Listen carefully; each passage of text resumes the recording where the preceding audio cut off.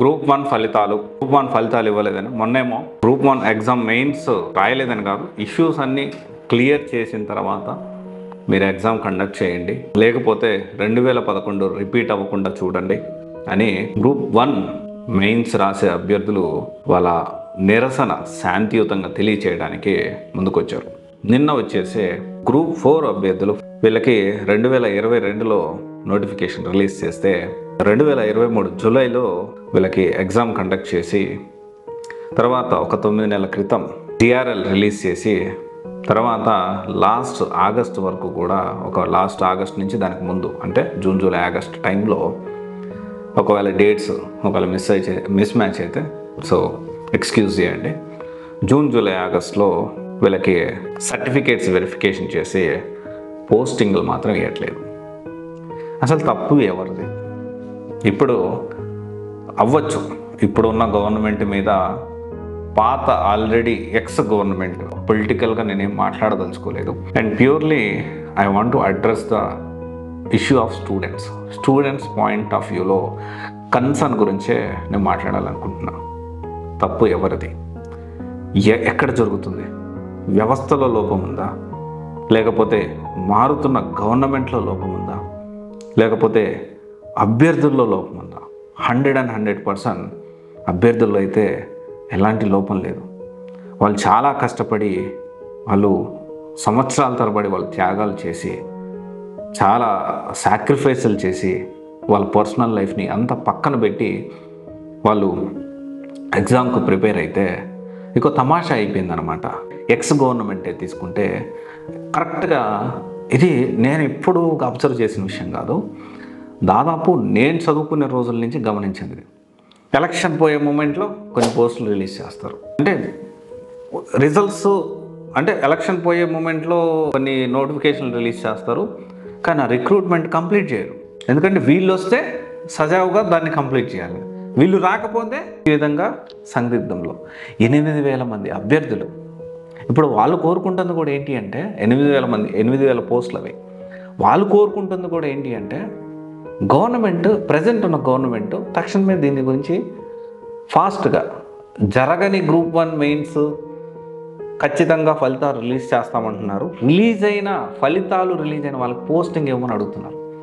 And they are completely so ఖచ్చితంగా వాళ్ళకి చాలా నమ్మకం ఉంది. ప్రజెంట్ నా గవర్నమెంట్ మీద నమ్మకం ఉంది. చాలా శాంతియుతంగానే వాళ్ళ నిరసన అనేది తెలియజేస్తూ ఉన్నారు. అండ్ ఇది నేను నా సైడ్ నుంచి కూడా రిక్వెస్ట్ ఏంటి అంటే మీ మీద చాలా నమ్మకం ఉంది సార్ ఇప్పుడు ప్రజెంట్ గవర్నమెంట్ మీద ప్రజలకు ఎంతో కొంత నమ్మకం ఉంది.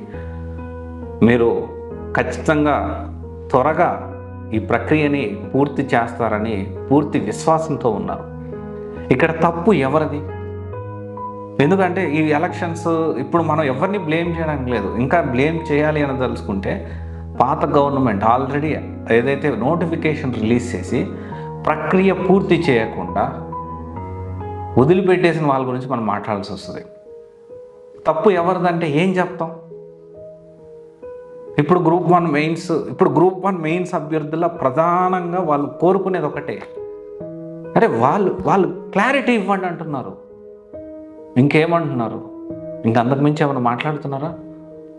నిన్న గ్రూప్ ఫోర్ అభ్యర్థులు కూడా సార్ ఏదో ఒకటి చెప్పండి సార్ మాకు. మేము ఆల్టర్నేటివ్ నా చూసుకుంటాము. అని అంటా ఉన్నారు. తప్పు ఎవరిది? అండ్ అభ్యర్థులు కూడా నేను గ్రూప్ వన్ సంబంధించి మాట్లాడేటప్పుడు కూడా చెప్పాను. అండ్ ఇప్పుడు గ్రూప్ ఫోర్ అభ్యర్థులు కూడా నేను ఒకటే విన్నవిస్తూ ఉన్నాను. దయచేసి మీరు ప్లాన్ బి పెట్టుకోండి. ఈ ఓన్లీ ఈ గవర్నమెంట్ నోటిఫికేషన్స్ నమ్ముకొని మాత్రమే ముందుకెళ్ళొద్దు. ఇది మీకు ఖచ్చితంగా మీ జీవిత ఆశయం అయి ఉండొచ్చు. అస్సలు కాదనట్లేదు. కానీ బ్యాకప్ ప్లాన్ ఉండాల్సిన అవసరం అయితే ఎంతైనా ఉంది. ఈ గ్రూప్ ఫోర్ అభ్యర్థులకి త్వరగా గవర్నమెంట్ కూడా దీని గురించి ఆలోచించి సత్వరమే వాళ్ళు చాలా రోడ్డుకి నిరసన చేస్తూ ఉన్నారు. దాదాపు నా వన్ ఇయర్ నుంచి వాళ్ళు చాలా ఓపికగా వెయిట్ చేస్తున్నారు. రెండు వేల ఇరవై రెండు నోటిఫికేషన్కి ఇంకా వాళ్ళు పోస్టింగ్ రాకపోతే ఎన్ని సంవత్సరాలు సాగదీస్తారండి మీరు? ఒక నోటిఫికేషన్ని ఒక నోటిఫికేషన్ని దాని పోస్టింగ్ ఇవ్వడానికి ఇంకెన్ని సంవత్సరాలు? గ్రూప్ వన్ చూస్తే అలా గ్రూప్ టూ సంగతి ఏమవుతుందో భగవంతుడికి తెలియాలి. వాళ్ళు ఒకటే క్లారిటీ. ఎప్పుడు క్లారిటీ ఇచ్చేసేయండి. ఖచ్చితంగా. తప్పు ఎవరిది?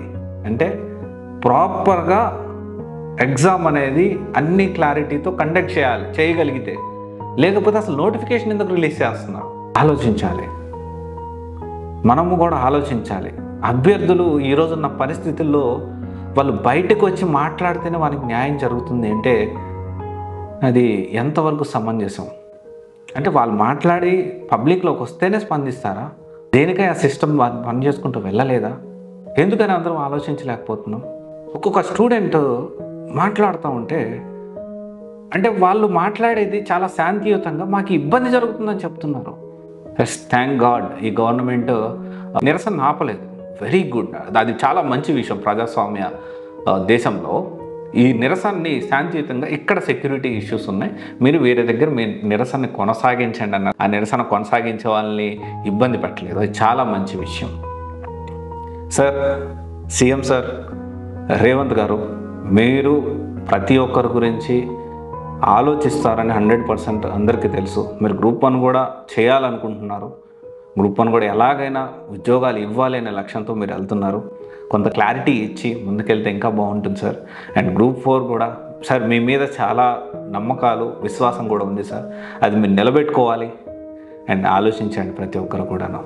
అండ్ అభ్యర్థులు ప్రతి ఒక్కరు గ్రూప్ వన్ ప్రిపేర్ అయ్యే గవర్నమెంట్ ప్రిపేర్ అయ్యే అభ్యర్థి ప్రతి ఒక్కరు కూడా బ్యాకప్ ప్లాన్ అనేది ఆలోచించుకోండి. ఖచ్చితంగా ప్లాన్ బి అనేది ఉండాలని మీ కెరీర్కి ఆలోచించుకోండి.